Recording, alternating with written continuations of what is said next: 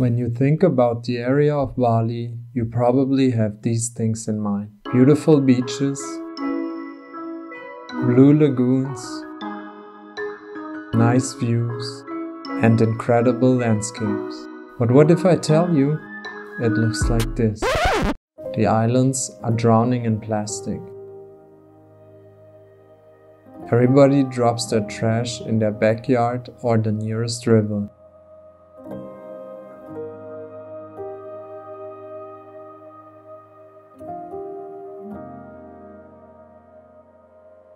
The animals mistake the plastic for food or toys.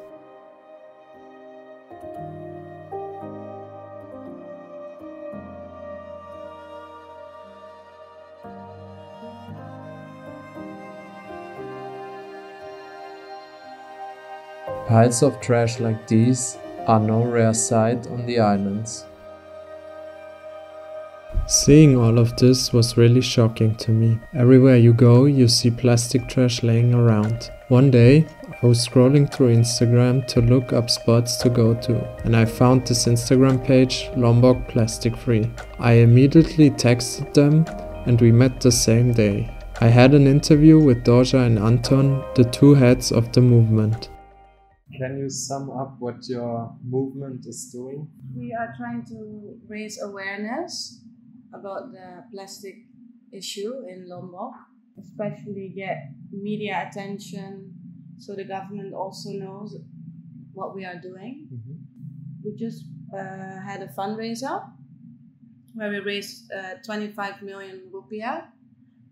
With that money, we are going to make fishing nets for the river so the plastic doesn't go to the ocean in rainy season. Mm-hmm.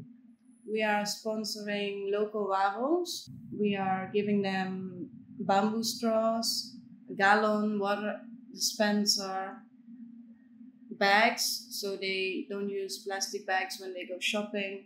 They don't use plastic straws, they don't use plastic bottles, but they have to sign a contract where they say that they will not use those things anymore, the single use plastic. We are doing beach cleanups. We want to pass like long term goals to ban single plastic use, especially for the retails in this island. So that's how we can uh, reduce the consumptions of single plastic use. In your point of view, what is the main problem causing the plastic pollution in here?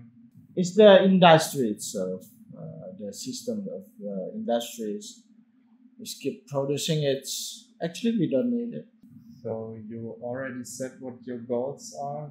The name of your movement, Lombok Plastic Free, sounds like a firm plan how are you guys working to fulfill the plan? Uh, we have a, a foundation from Batu Bambu Kids Foundations. They giving education for kids and stuff like that. So they're willing to join the movements as the name of the foundations as well and speak up about the waste issues.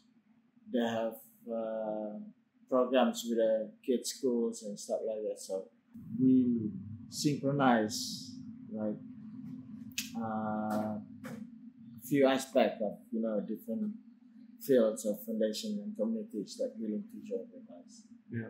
When you talk about education, you also need to address the government.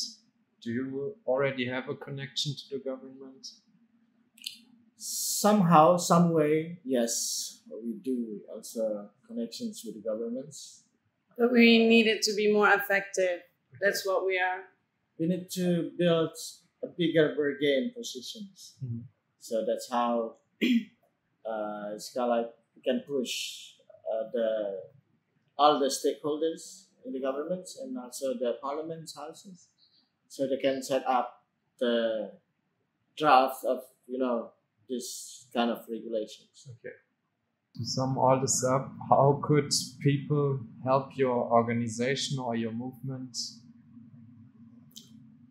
firstly, first spread the words, make it viral, and then sign our petition. Sign our petitions, and also somehow by any chance you are in Lombok, we uh, we're gonna do a lot of uh, activities like beach cleanup, making a lot of creative programs and stuff like that. Come to us, and then we can do it together. And yeah, that's that's how movement is. I think also it's good for everyone to think about the plastic they use because sometimes you don't even realize it. Like even your wax comb is from plastic. Yeah. Um, when you go here to the laundry, all they pack all your clothes in plastic, but you can tell them don't put it in plastic. Just if everyone would think about it more and like no one can do it perfectly. Of course, we we both still use plastic sometimes, but we try to not use it as much as before. And actually, we try to go completely without plastic, which is a long journey. But I feel like if everyone does a little bit, it already helps a lot. Yeah, we have to start it, and it's now. So you think the first step is that everybody is aware of his own consumption and then the government needs to act too? Yes, Okay. precisely. So if you want, you can tell the people how they can find you on your social media. We have Instagram. Mhm. It's called Lombok Plastic Free, Okay. and the petition is in the in the link in the bio. okay. Did I say that right? Yes. and then we also have Facebook, which uh, our page is also called Lombok Plastic Free. The link is also there. okay. And we are still working on a website, but it's still in progress. So thank you guys for your time. Thank And you. Thank you. I appreciate what you're doing. All the best. Good luck. Thank you very and much. keep going.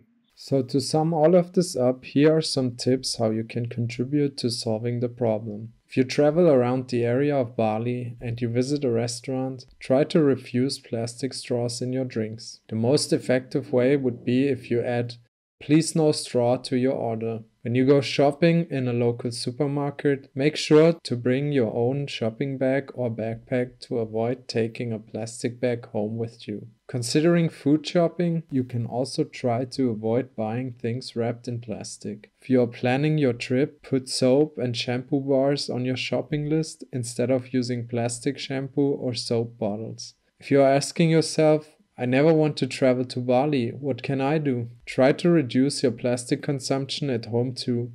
Because the companies ship most of the trash to countries like Indonesia and China to get rid of it. So the less trash they can ship around, the better. As Dorja stated, we don't need everybody to do zero waste perfectly. We need to try together. That would be a huge change.